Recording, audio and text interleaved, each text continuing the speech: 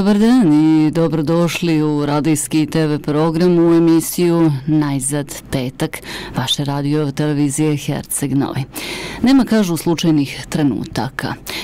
Za to sam potvrdu našla i svoje vremeno u ambijentu Gradskog muzeja Mirko Komnenović kada je organizovano jedno poetsko veče. Tamo treba poći sa ili bez povoda ambijent je zaista nestvaran i plijeni.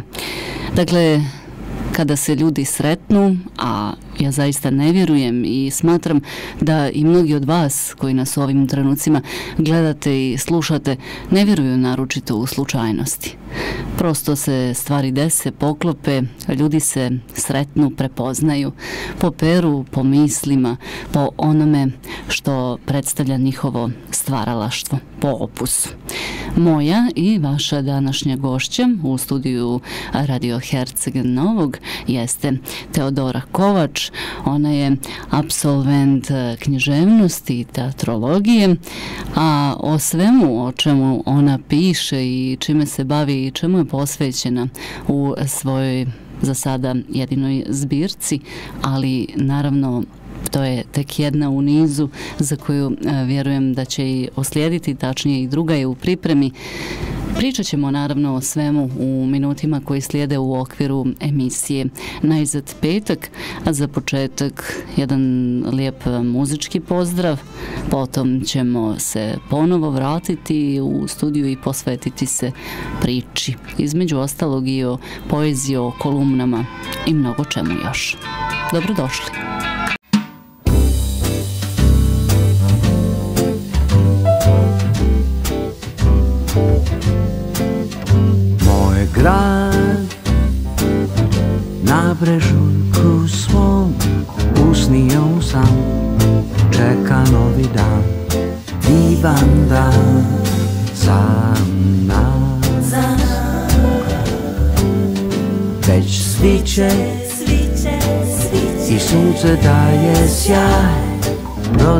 Se cvijet da ukrasi svijet. Divan cvijet za nas. To je dobar znak. Veselja će biti, to znamo svi. Djeca i mi ćemo se kititi mimozom Maškare će igrat oko nas Dok ne svane novi dan. Moj grad Posle noći te Usnit će u san Čekat novi dan.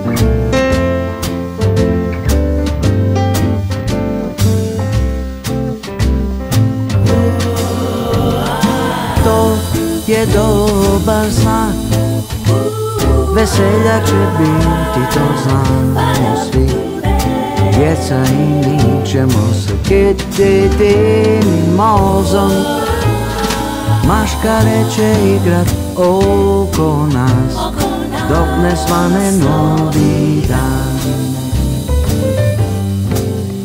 Moj grad na prežuljku svom usnit će u san Čekat novi dan Divan dan Za nas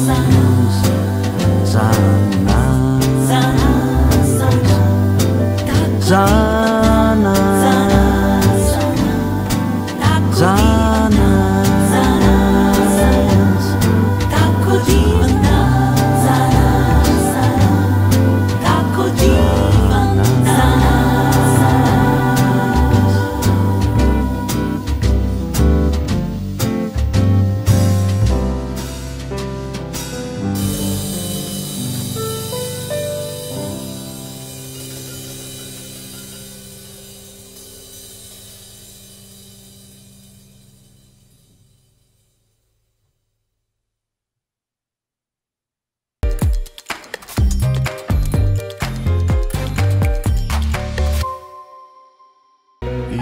Emisija Najzad petak u programu radio televizije Herceg Novi. Svima koji ste nam se eventualno u ovim trenucima pridružili podsjećanje. Naša je vaša gošća u studiju radio Herceg Novog je Teodora Kovač, absolvent književnosti i teatrologije, pjesnikinja. O brojnim nagradama ćemo nešto kasnije, osvenim na mnogim uh, festivalima, na mnogim uh, dakle, poetskim konkursima, um, ali za sam početak, po našem dogovoru, htjeli smo da ljude uvedemo u poetsku priču, Inače je da podsjetim i naše gledalce i slušalce e, ideje ove emisije upravo popularizacija književnosti. Da li proze ili poezije, ali poezija je e, po meni i mislim da si saglasna kraljica u književnosti. Evo, dobar dan konačno i tebi i dobrodošla. Dobar dan, bolje vas našli. Evo, malo ćemo da namestimo a, s obzirom da se tako svakako bolje čuje. Znači, e, za sam početak odredili smo i da čujemo jednu tvoju pjesmu. Pa, evo prilike da je izgovoriš upravo sada. Izvoli. Ležiš sada na njegovim grudima, skupljaš mu riječi u košare, brojiš poljubce na ramenu, kupujete toplotom, suknje ti gužva pa pegla, da ne vedri i oblači, neki on, neki on. A znali on koliko sam puta od sazvežđa te sklapao, u školjkama tražio u dimu cigarete ti nalazio lik. Znali taj tvoj on, da samo tvojoj riječi vjerujem, da samo u tvom naručju miran spavam, da su noći nesanice. Lijepe tamnoko se jedre nesanice, u kojima ti siluete crtam po svom čaršafu, dok on mirno spava sa prstima u tvojoj kosi. Znali da svaki dan u sedmici po jednom slovu tvoga imena zovem, pa kada mi dođe ono o šankerima pričam kako si me izdala. Drugarima lažem kako sam srećan po duši tvojoj. Crn katran sipama ona se prkosna u jasmin preodjeva. Poznaje li on taj osjećaj kad pišeš meni? I boli li ga ispod gornjeg lijevog džepa kaputa kao što je mene boljelo kad si drugom pisala? Sinoć sam oko ponoći uličnom pijancu pričao o tvom najdražem slikaru. O boji haljine u kojoj sam te posljednji put vidio kad sam kao stranac prošao kraj tebe i o tome koliko si mi bila smiješna kad si o rastanku pomišljala. Kako si me u grču grlila kao da ću poput dima nestati ako me samo na tren pustiš. Pa pogledaj nas ti si nestala. Znali jedina taj tvoj, on, koliko se kajem što ti nisam vrata zaključao, pa moji prsti u tvojoj kosi ne spavaju. I znaš li konačno ti da te njegovu volim, iako te svoju nisam umio sačuvati. Bravo Teodora, hvala ti. Evo za sam hvala. početak, možda bi ovo i negdje bilo dovoljno za predstaviti uh, nečiji opus i u stvari steći u ono šta je tebi značajno u, u, uopšte u onome čemu pristupaš kada je u pitanju poezije. Nego da se vratimo na početke. E, počela si da pišeš sa devet godina. Kako ti je to palo na pamet? Pa, moje pisanje je počelo tako što sam poželjela da obradujem mamu i moja prva pjesma je pjesma Majci. E, nakon toga, e, to jest nakon što se mami ta pjesma dopala, e, ja sam kao dijete prosto shvatila da je poezija nešto što raduje ljude i onda sam nastavila da pišem. E, u mojoj školi je postojala literarna sekcija i vremenom sam postajala njen član. Zatim sam pisala na zadate teme. E, to je meni bilo e, izazov E, satisfakcija i još kao mala djevojčica shvatila sam da je poezija moja ljubav. Da, i da je ljubav nastavila da raste, da se razvija do ove punoće koje smo sad imali prilike da čujemo. šta se to nataloži ovako u čovjeku pa ima potrebu da to iskaže, ispiše ili iscrta na papiru i predstavi sebe u najboljem svjetlu? Dobro ste rekli, um, ima potrebu. Smatram da je jako važno da onaj koji piše zaista ima potrebu za pisanjem i da je poezija najbolja onda kada, kada pjesnik e, zaista osjeća jaku potrebu da, da napiše nešto e, e i da izbaci svoje emocije iz sebe kroz, kroz papir. E sad, e, inspiracija je to jest može biti različita. E, meni je inspirativno e, sve što me okružuje. E sad, ne postoji određena stvar koja je uvijek moja inspiracija. Prosto inspirišu me ljudi, e, njihove zanimljivosti, njihovi životi, e, prvenstveno moj život, moje razmišljanja, moje misli, moje emocije, e, neke tuge i radosti. Dakle, sve je inspiracija onome ko želi to da vidi tako.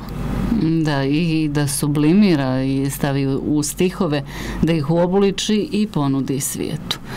E, dakle, negdje u, u, recimo u najranijoj dobi otprilike se zadamaralo u, u, u grudima, u duši želja, potreba da se sa tim započne i onda su pored školske sekcije, odnosno nakon literarnih konkursa koje smo svi u manjoj ili većoj mjeri morali proći kroz to osnovno školsko obrazovanje, usledilo je i pisanje između ostalog. Evo, ja ću iskoristiti trenutak da, da to kažem našim slušalcima i gledalcima. E, ljubavnu poeziju u slobodnom stihu objavljuješ i za INSP RS portal.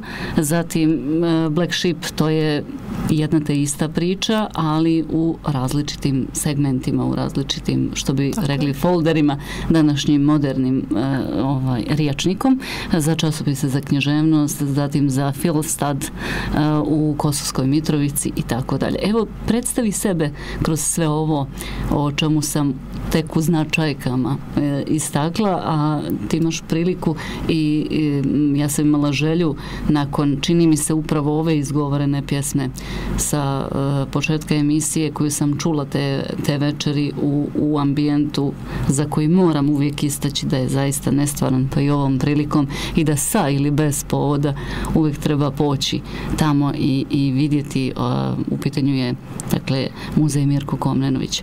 Eh, nedaleko od kuće našeg Nobelovca Iva Andrića dakle to je taj krug koji svakako treba obići ali evo eh, ja sam imala imala prilike dakle, da, da čujem to i drago mi je što sam je sada ponovo čula. Dakle, eh, što se tiče pisanja za portale e, i regionalne i učešće na međunarodnim e, poetskim festivalima, tu si također pobrala značajna priznanja. Pa evo da kažemo ljudima o čemu se konkretno radi.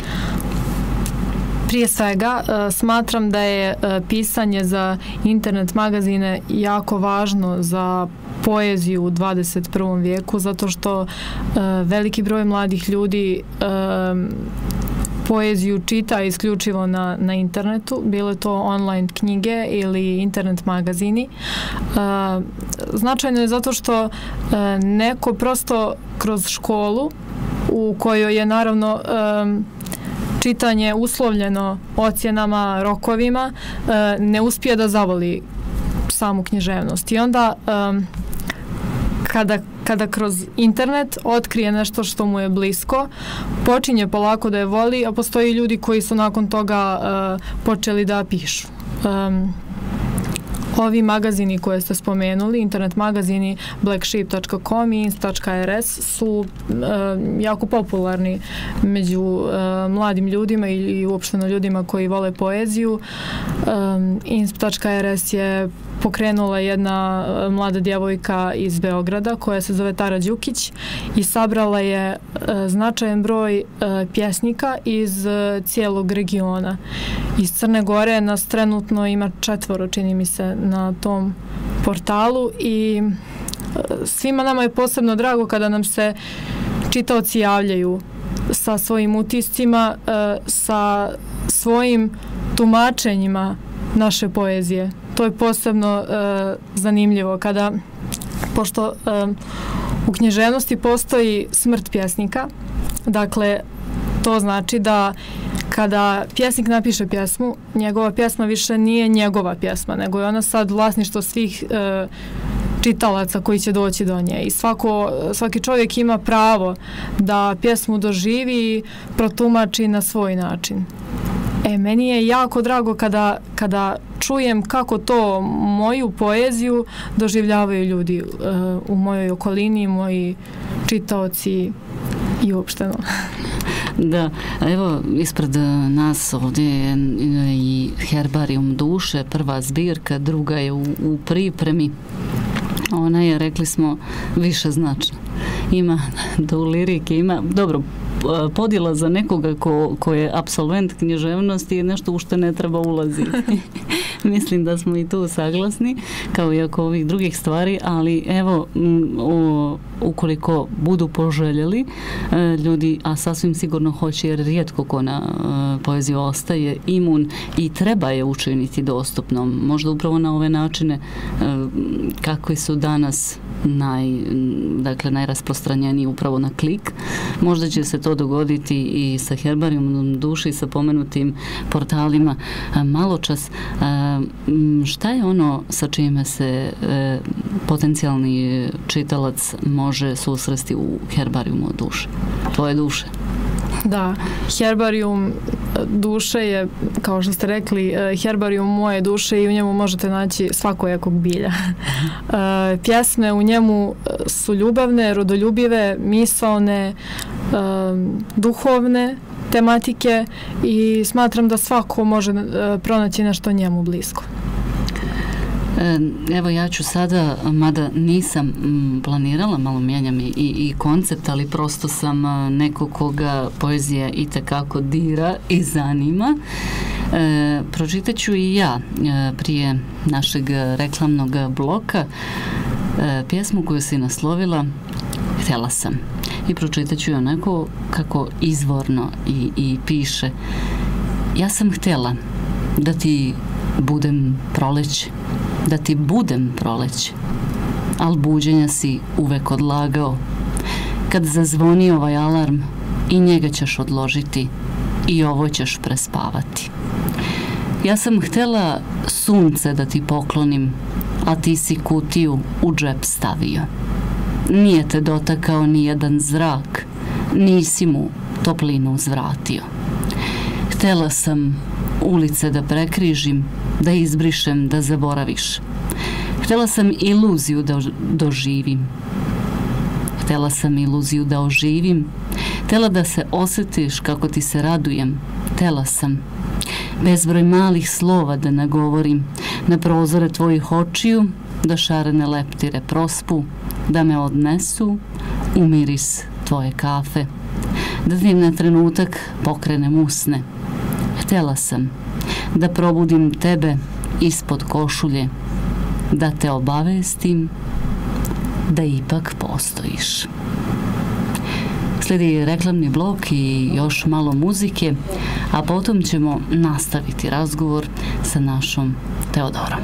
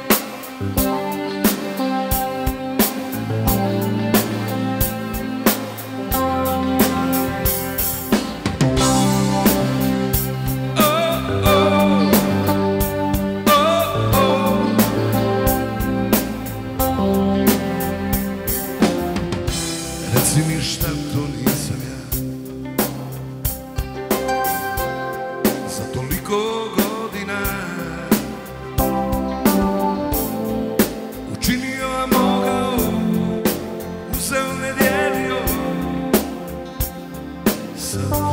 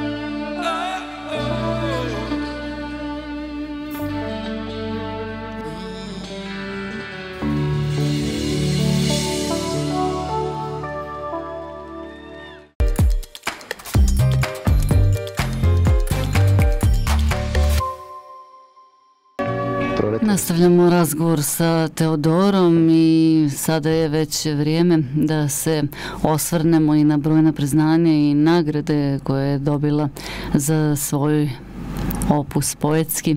Radoslavnica, priznanje za najboljeg mladog pjesnika na Međunarodnom festivalu pjesnika u Istočnom Sarajevu. Zatim Luka Milovanom Georgijević za poeziju na istoimenoj manifestaciji u pjesnikovoj Srebrenici. Međutim, u uh, međuvremenu dok je e, išla pjesma i dok su emitovane reklame e, skrenula si mi pažnju na jedan važan trenutak a zašto je važan to je svoje vrstno priznanje tebi ali i poeziji generalno koje je došlo sa jedne od možemo slobodno reći visokih ako ne i najvećih adresa kada je u pitanju savremeno stvaralaštvo i evo za naše slušalce i gledalce vjerujem da bi bilo interesantno da i sa njima podijeliš te svoje utiske. Kako je zapravo šta se dogodilo na jednoj od e, brojnih večeri organizovanih e, upravo u, u slavu i čast poeziji? E, na festivalu e, na međunarodnom festivalu poezije mladih u istočnom Sarajevu e, prilikom dodjele moje nagrade naša velika pjesnikinja Dara Sekulić e, izašla je na binu da bi mi dodijelila nagradu i oni su pročitali moje ime. E, i kada sam se pojavila na sceni Dara je počela da, da plače i izgovorila je ja pa ti zaista postojiš. Meni tad ništa nije bilo jasno. Ona je pitala organizatore da li smije da ispriča priču. I onda je rekla kako se ona sjeća moje poezije iz perioda moje srednje škole, pošto uh, taj festival ima uslov po kojem uh, svaki pjesnik mora poslati tri svoje pjesme na zadatu temu. Uh, međutim, tada su iz moje škole poslali moje dvije pjesme i falila je jedna. Dara je tad željela da, da me proglasi najboljim pjesnikom i onda mi je pisala pisma u kojima me zamolila da ja pošaljem još jednu pjesmu. Međutim, kako su to poslali oni iz škole, stavili su moju adresu iz grada u kome živim, a mjesto škole u koju idem. I onda je pismo zalutalo i ja nikad nisam došla do njega. I godinama nakon toga, dakle, to je bilo možda nekih 6-7 godina ranije, E, Dara se toga sjetila, sjetila se mog imena, sjetila se naziva mojih pjesama i zamolila me da joj odrecitujem neku od, od njih. Meni je to bilo e, mnogo emotivno, Mm, naročito zbog toga ko je i šta je Dara Sekulić danas i zbog njenog divnog poznanstva i druženja sa Desankom Maksimović e, i zbog toga što je taj festival na kome sam e, dobila nagradu Radoslanica bio posvećen Desanki Maksimović i njenoj zbirci Tražim pomilovanje. I zaista jedan od najljepših događaja u mom životu i najemotivnijih. Nešto što nikako nisam očekivala i što, što će ostati uvijek urezano u moju duši. Naravno i sasvim je razumljivo zašto je to tako i na prvo slušanje je zaista ostavlja bez daha i ostavlja značajan utisak i, i na nas druge, a kamoli na nekoga ko to doživi. Jer bez obzira što je pismo lutalo i što nije a, došlo do onoga kome je poslato, onome kome je namjenjeno svakako nikako ne može biti uskraćeno zadovoljstvo da bude priznati, da bude zapamćen, bez obzira na vrijeme koje neumjetno teče. Pa na, i na taj period od 6-7 godina ipak žena nije zaboravila. To je ono što je, što je suština e, i, i kroz bavljenje i pisanjem i bilo da je u pitanju i proze i poezije, koji god da izraz izrazi, likovna umjetnost, naravno i muzička, e, sve su na svoj način značajne, ali poezija čini se ima i onu jednu notu više. A ja vjerujem da se i Desanka od neku do dozgu pobrinula, da se sve to tako lijepo uklopi.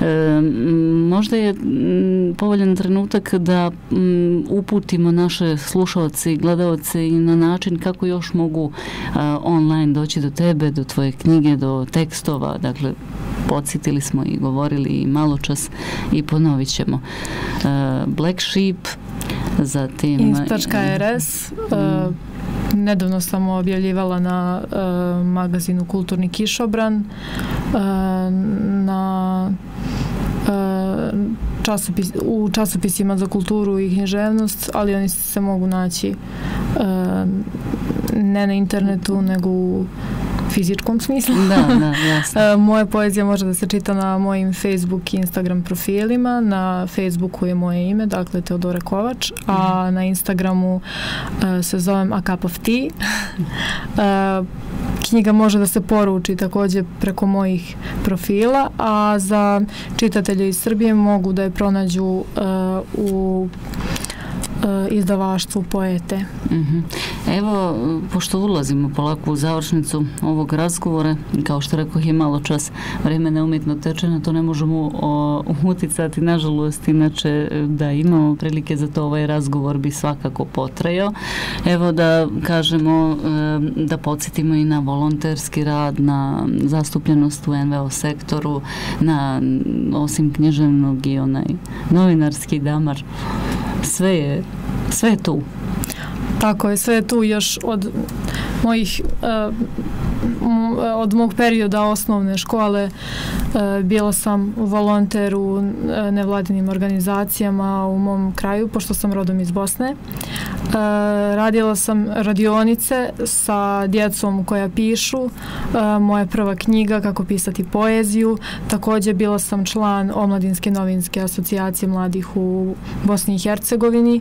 Organizovali smo kulturne večeri širom Bosne i Hercegovine u kome su mladi imali priliku da iskažu svoje talente. E, također um, e, sa e, profesorima muzičke akademije u Istočnom Sarajevu organizovali smo kulturne e, večeri u kojima je prvenstveno akcenat bio na, na muzici i na poeziji. Ja sam govorila svoju poeziju i poeziju svjetskih poznatih pjesnika, a oni su svirali i pjevali operske arije. A koliko ćemo još čekati na drugu zbirku? pa ja sam drugu zbirku najavila kada je izašla prva jer sam imala već dovoljno pjesama za nju, ali evo stvari su se malo odužile, ja se nadam da će izaći što prije. Pjesama ima dovoljno, samo još da se poklope sve kockice hoće, nadamo se i, i, i to želimo.